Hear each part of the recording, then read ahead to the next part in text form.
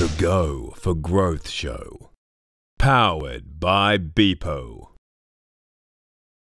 Hi everyone, welcome to today's episode of the Go for Growth show. Uh, my name's Mark Engelmann and I'll be your host for today's episode. Here with me is Josh Cobb, the CEO from Stepps. Um, Josh today is going to talk to us about his business and some of the, the great growth that he's seen in a very short amount of time. Um, so, Josh, let's just get straight into it. Um, tell us a little bit about what you do at Stepps. So we're a, we're a digital marketing company just in the real estate industry. So our primary, uh, I guess, core business is website design, website development, and uh, we build software for real estate agents and offices and provide the, the strategy advice that kind of ties it all in together and, and we use all those things to help them grow their business. So um, that's our industry. We, we just work in real estate and uh, having, having a good time doing it. Yeah, great. One thing that one thing that I always am, am fascinated by is, is people's journey from um, often an employee mm-hmm. and the transition into you know entrepreneurship and, and business ownership. Can you you know tell us a little bit about what you were doing before you started your journey with Stepps? Well, Stepps was kind of born out of out of a problem that I had. so, uh, I was a property manager for uh, about nine years before I got into. I, uh, kind of before I started Stepps, I was working for a property management consulting firm uh, as their marketing manager. And one thing that I wasn't very good at, nor did I really like that much, uh, when I was a business development manager in property management, was prospecting and cold calling and uh, and all the things that people in real estate are, are, very good at. It just wasn't fun for me. It was very uncomfortable for me mm. to hmm. go and knock on someone's door or call them if they've never uh, spoken to us before. It just it wasn't something that I enjoyed doing. So. Yeah I started exploring other marketing strategies and, and how businesses outside of real estate got the phone to ring the other way. Yes. Uh, and I started coming across terms like inbound marketing and content marketing and just fell in love with this idea that if you gave enough value over time, people would come to you eventually. Uh, so that kind of underpins uh, everything that STEPPS stands for and, and, the products that we build and the, the advice that we give to um, real estate agents and, and, businesses is if you provide enough value consistently to an audience um, who, who find your content relevant to them and love getting it from you, they will come to you eventually. Um, so that was kind of uh, the, the, the, challenge that I had back as a property manager and Stepps is really uh, a, consulting firm to really mm. help real estate agents and agencies get the phone to ring the other way yeah. and, uh, and, and really add to not replace what they're doing but enhance what they're doing. Yeah, for sure, for sure. So you mentioned two uh, sort of keywords that get thrown around a bit these days, and they were uh, inbound marketing and, and content marketing. Um, and I guess you also mentioned another another doozy in uh, audience. Yeah.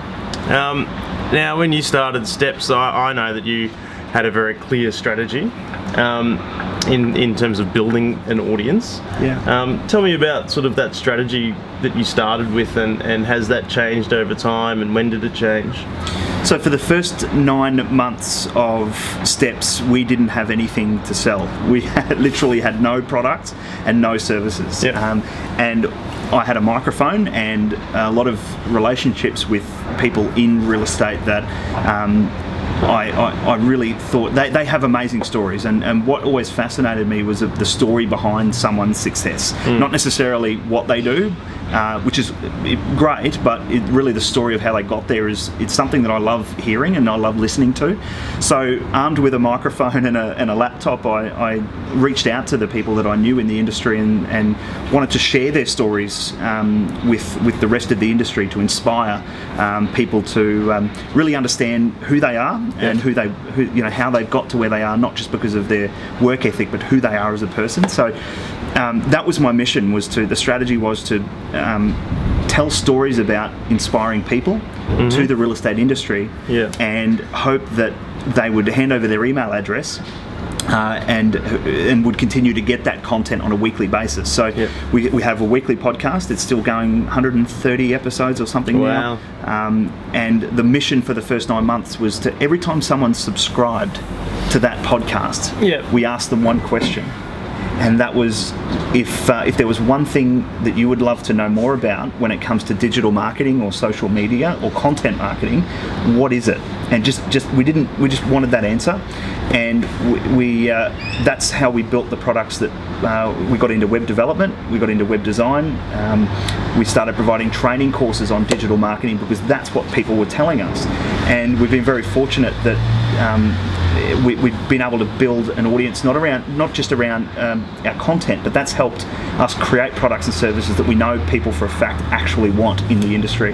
And I have no doubt that that strategy alone has. Um, has helped us get to where we are today instead of what a lot of businesses do when they start out, which is just they start with a product and they, tr- they just jam it down people's throats as much as they Yes, can yeah. and hope that, that it, something sticks. And they say, we're very fortunate that we have an audience of about 42,000 uh, email subscribers who, um, when we have a new podcast that that goes out to, or if we have a new training course, that goes out to that audience. And, and uh, it's uh, they know us. They they uh, luckily we, they, they find our content uh, engaging and relevant, Yeah, which is great. um, so I think yeah, we we, uh, we- we started with no products or services to sell, but we trusted that people would tell us in that initial nine months what they wanted or needed in their business, and we just went and built it for them. It, it was really that.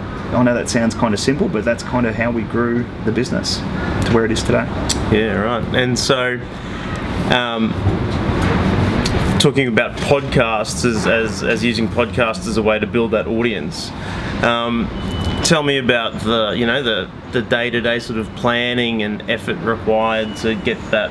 Uh, regular weekly podcast rolling out, and Yep. and were there ever any disasters along the way? oh, for sure. There's always there's always disasters. I've uh, I think if I go back a step, um, the reason why I chose a podcast was um, understanding that real estate agents spend a lot of time in their car, uh, and it's very hard to watch a video or read a blog post while you're driving, Yeah. or while you, they spend a lot of time Probably at the gym the too. safest thing. exactly. So it made a lot of sense to to do something that they could consume what that, that was part of their daily routine and not interrupting it. So podcasting seemed um, the logical solution. It's something that you can do while you're driving. You, you, and a lot of agents do. A lot of real estate agents listen to um, whether it's training uh, or coaching tips uh, when they're driving. They plug it into their Bluetooth in their car and away they go. yeah. So that's probably, um, if any, if one of the mistakes I think a lot of businesses make is just thinking, oh, I'm going to do a blog, or I'm going to do a podcast, or I'm going to do a video series or an event, Yeah. and they don't think, well, is this actually part? Will this kind of in, um, intertwine with the daily lives of my audience, or is it going to interrupt them? So, Yeah.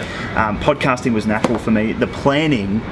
Um, is I, I have a background in music technology, so I studied music technology at the Yeah. Conservatorium of Music. Yeah. Okay. So it was it was quite easy for me to, to plug in a microphone and know how to edit audio. Um, so for the first 12 months, I did everything myself. Yeah. It was the plugging in the microphone, uh, organising the Skype interview, making sure that the audio was working, um, sending out the uh, the questions well ahead of time, making sure that the, the person who I was interviewing knew exactly um, you know what, what I would expect of them, Yeah. uh, and then uh, record the interview, uh, have it edited, have all the marketing put together around it, uh, the email set up on a weekly basis, the uh, the Facebook ad to promote it out, uh, all of the stuff to promote the episode. Yes. And then each guest that I had on the show would always make sure that I would send them a gift afterwards to say thank you for being a part of the show and sharing your story. And um, and that system I've followed now. Uh, we still do it to this day. Our podcast is just as important as. You know, um, delighting our clients. It's the content. We're always waking up in the morning thinking, "What's a question that we haven't answered on our podcast?" Yes, or yeah. someone that we've interviewed that we'd love to. Um, so that's um, yeah, the the, day, the weekly routine has just become natural after a long time. But there were some disasters for sure. We had an interview. Uh, I interviewed a lady by the name of Wendy Alexander, who um, is uh, an, an amazing business operator at Barfoot and Thompson in New Zealand, and uh, realised after the recording that I'd actually deleted the audio. so so uh, I had to call Wendy, and uh, who was on holidays in Wales at the time, and, um, and and anyone who's seen Wendy speak would would know that she is uh, look she's very honest and blunt, uh, and that's uh, you know that's that's often, that's what people love about her. And I was really worried about making that phone call. and she said, uh, "Josh, I, I actually wasn't happy with the uh, you know my part of the interview anyway, so let's um, let's do it again." And I was, Great. How good's that? Thank God. So that's probably one of the biggest mistakes I made, which I, now everything is backed up, triple, quadruple. Yeah. you know, we back up the audio a lot. So, uh, uh, but yeah, it's been a it's been a good time, good ride. Yeah, cool. And um, so you know, you launched your podcast. You um, presumably may have you know recorded a couple of episodes in advance. Um, how did that audience grow, and and how did you like? You know, a lot of people are probably wondering. That sounds like a great idea. You know, I understand building an audience, but how do you get those first few, you know, subscribers, and then how do you grow that? Well, it's if I if I start with the mistake I think a lot of businesses make in the first instance is they know that no content is important. Yeah. A lot of businesses are just creating content for content's sake, mm. and when when they finish that blog post or that podcast or that video, they're on to the next thing, and they're not Yeah. spending the time promoting it. And Yeah. I uh, there's a great saying by um, Andy Crestodina, and Andy Andy Crestodina runs a company called Orbit Media Okay. uh, Studios in, Yep. in Chicago, over Yep. in the states, and uh, an amazing content marketer. And um, he has a great saying that uh, the New York Times doesn't have a list of the best books; they have a, be- a list of the best selling books. Yes. So it's not the best content that wins; it's the best promoted content that wins. And I, I've always that's always resonated with me. So Mm-hmm. whenever we produce a piece of content, we would spend probably 30 to 40 percent of the time creating it Yeah. and 60% of the time promoting it. Yeah, right. So, in terms of building the audience and getting those first few subscribers, it was really spending a lot of time um, creating the content, but then an equal, if not more, time promoting it on the channels that our audience was hanging out. So, Facebook and LinkedIn, and Yeah. um, uh, you know, other having our uh, interviewer interviewees share that with their audience and driving that traffic back to the website, Yeah. where the website was configured to collect emails. Uh, Yeah. So we made that pretty prominent on the website. Um, so I think driving traffic's one thing, but if they're not converting into an audience or you're not making it easy for them to do it, Yes. that's every all your hard work's kind of undone. Yeah. So um, yeah, that's kind of how we that's how we went about it, Yeah. Okay. and great. still to still do to this day. Yeah, yeah. Um, and moving on, what's what's uh, down the track for Stepps? What are some of your upcoming sort of key priorities and, and strategies to continue your growth and, and success? Well, we've we like any business, I think we've evolved into a company doing things that we didn't think we would be doing. I mean, if you told me three years ago we'd be a web development. Uh, uh, doing web design and development, I would have told you you're crazy. Yes. Um, so we're we're building now um, some other products and services and software that um, we're really excited about. That we know for a fact that the industry wants because again we've we've asked we constantly ask the audience what are products and services that you want um, and what are the problems you're trying to solve in your business. Um, so we've spent a lot of time in the last 12 months really uh, going to the industry and spending time one on one with not only our clients but people that come to our workshops and asking them, Yeah. you know, what are the things that they, they need in their business. Yeah. So well, I'm really excited in the next 12 months. We've got some really amazing things that we're uh, we're going to impart on the industry. Uh, and look, we're really we're really confident that, um, or really excited to uh, to see them roll out because we, we're, we're confident that they're products and services that, that, that are needed. Yeah, great. So I think if it's anything we're working on, is really the software side. Um, we're, we're kind of moving into a bit more software development, Yeah. not just web Yeah. design. Yeah. Um, and that's really exciting. Yeah, because cool. it. Uh, I mean, from a business standpoint, software doesn't require as much human interaction. Uh, you know, if you're if you're a consultant out there pounding the pavement, you know, um, money for uh, your time. Yeah. Uh, software can kind of make money for you while while uh, it doesn't need you as much. Yeah. So that's that's really exciting for me from a business owner standpoint. Is Yeah. where we're going is kind of having that recurring revenue from other products and services that uh, you know kind of uh, work themselves. Yeah, great. There's plenty of uh, examples out there of consulting businesses that have grown into service providers and, and Yeah. software companies, and Yeah. I think um, in some respects that's kind of a natural progression. So it's very very cool to see. Yeah, yeah, it's exciting. So, in terms of um, tips for our listeners and our viewers, what um, what's your number one tip for any business out there that's really looking to sort of boost their growth and uh, you know their their kind of exposure, I guess, to the market, and and um, if they're on their way down the inbound marketing sort of journey and feeling their way, what's your number one tip? I think today it's you've got to be hungry for learning, and I think the uh, I mean it's that old adage. This is the way we've always done it. Are the most expensive words in business today. Um, the world has changed. It's not changing. It's changed, and I think um, uh, you've got to be hungry for learning. I mean, we, we spend I don't know how much money on traveling all over the world, going to conferences that have nothing to do with our industry. Yes. But we go, we do that because it, it gives us ideas that haven't been done in real estate before. Mm. Yeah. Um, and we bring them back, we test them out to see if they're working. And um, one of the things that keeps resonating more and more that a lot of businesses have um, really adopted is this content first approach. Yeah. And uh, ma- content marketing has actually been around for hundreds of years. It's not new. Yeah. Um, and if they do a little bit of googling, they'll know they'll see some examples and case studies of how content marketing was done 100 years ago and 200 Yeah. years ago. Yeah. And so many businesses are now going back to how that was because it's harder than ever to cut through the noise. Mm. So a lot of businesses are now bringing content marketing in uh, as a business strategy Yeah. And having that steer their entire business across uh, all departments. So I think you've got to be number one hungry for learning Yeah. and seeing, looking at how other businesses outside of your industry have really evolved Yeah. and why this idea of content and content marketing is a business strategy that helps you cut through the noise. Um, but you need to know that it, it's not going to drive leads overnight. Uh, but eventually, um, fortunately for us, it's we're kind of hitting that payback period where um, uh, we've we've got an audience now that we're very fortunate that we can communicate with Yeah. one to one. Yeah.